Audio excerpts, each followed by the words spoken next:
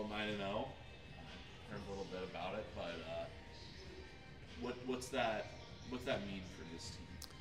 Well, I think I mean it's a it's a giant step in the right direction. Um, I think coming into the year we had really high expectations. We felt like this could be a really good basketball team, um, and we haven't haven't slipped up yet. Um, you know, it, it's a long season. There's a lot of games, and it's easy to, to you know to not capitalize on every opportunity.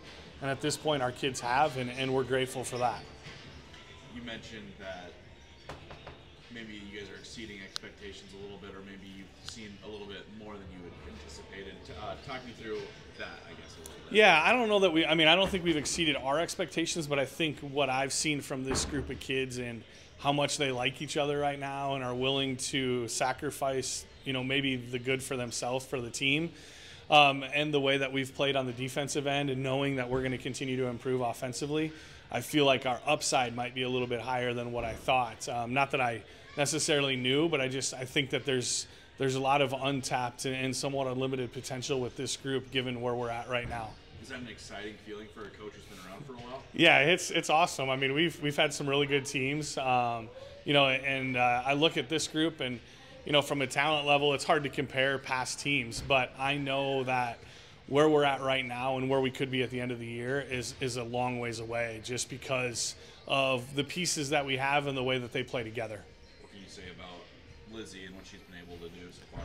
Yeah, I mean, just to have a freshman come in, this is, um, you know, really the first freshman in my time that I've been here who came in and started right away as a freshman. Um, and that's asking a lot, um, you know, over a long season, and just for them to, eh, you know, to just get through the physical rigors of that. And she's been fantastic, and I'm excited to get to break where we're at, get some time off for her and everybody, and you know, kind of regroup and come back um, with a new energy in January.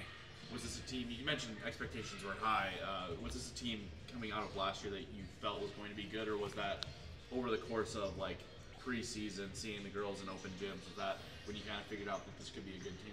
I think we started to see it a little bit more this summer. We knew after last season we had two seniors um, who played for us, um, and we felt like we had you know a JV team that was really good, and we had kids that were coming into the program, you know, moving up in the program that could help us, um, and a lot of a lot of um, kids coming back with experience, and we knew that the possibility was high. But I think this summer we started to see more and more of it um, and really realize the potential of this group as we got to see the pieces all together. Was there like a particular moment where something happened that you're like, okay, started changing your perspective a little bit, but.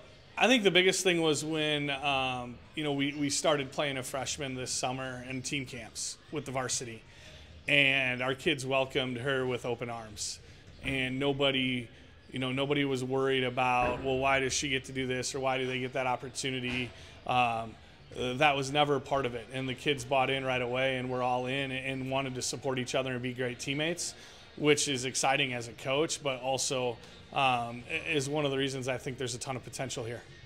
Obviously, whenever you have a a youthful talent, there's got to be some leadership there as well. Talk about some of the leaders that are helping put this together. Yeah, I mean, we've got five seniors um, who all were part of a team last year. They were all dressed varsity for the most part as sophomores, the team that made it to the state tournament. So they got a taste of that, and then they lost it last year. And I think they're willing to, you know, sacrifice anything they have to to get that opportunity again this year. Anything else? Good.